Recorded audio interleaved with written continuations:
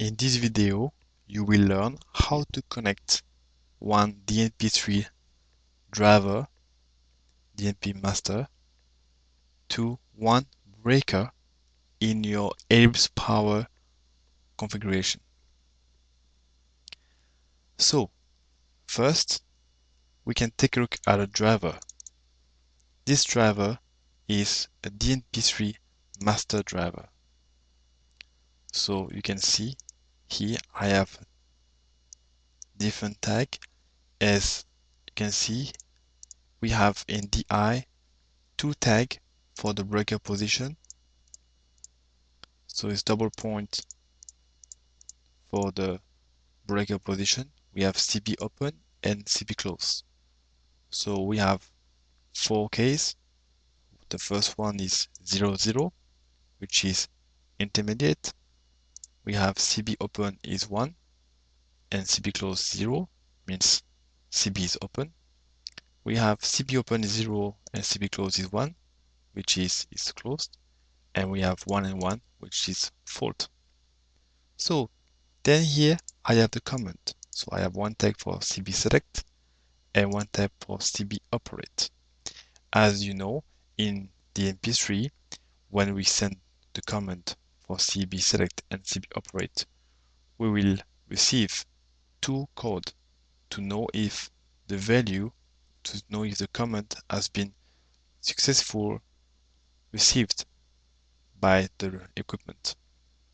So I will also, we also learn this to value. One value is 65, the other one is 129. But first, let's check this for the breaker position how to read the breaker position from these two tags? Well, we have to combine them. So I will go to the configuration, substation one, and my breaker. So I already implement the tag. Let's check how we can do this in measurement, breaker position, SCADA,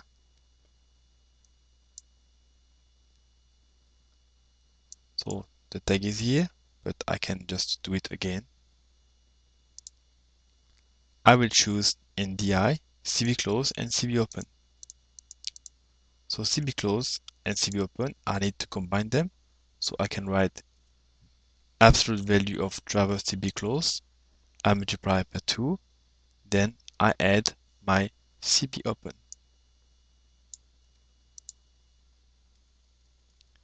In that case, I have combined my two tag into a double point value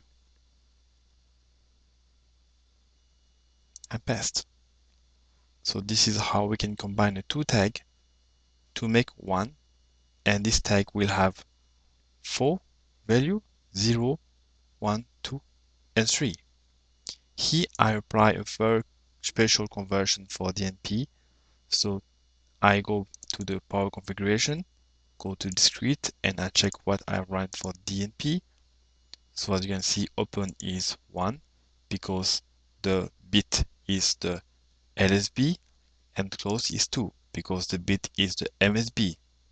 Then 0 and 3, invalid is 1, 1 is 3, 0, 0, okay, 1 is open and 2 is closed. So this is correct.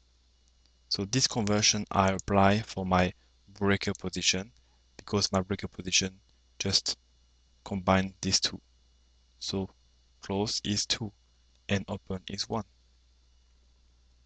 So now for the comment, I need to add the comment here, breaker position and comment. And as the same way I explained for the IEC 6150, which is the previous video, here we have to implement some tag. So in this way, for DNP, we can have select before operate. So I need to check here, operate feedback tag, which is the same tag for the operate write tag. It's the same tag we send the value and receive. And also select feedback tag and select write tag. So for the DNP3, we use the same tag. Then I also need for the breaker position to adapt one conversion.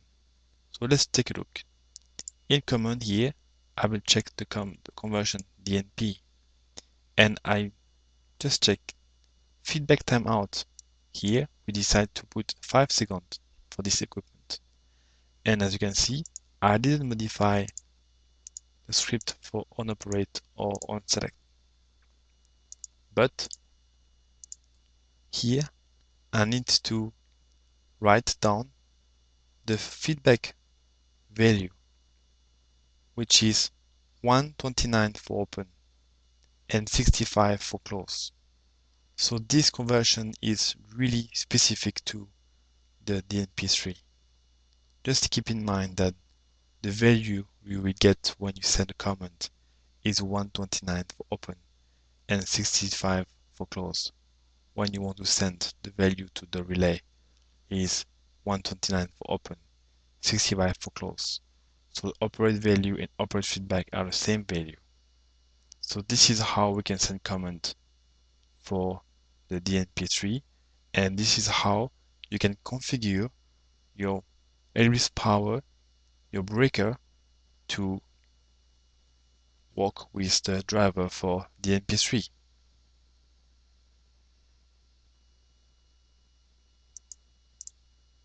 Thank you.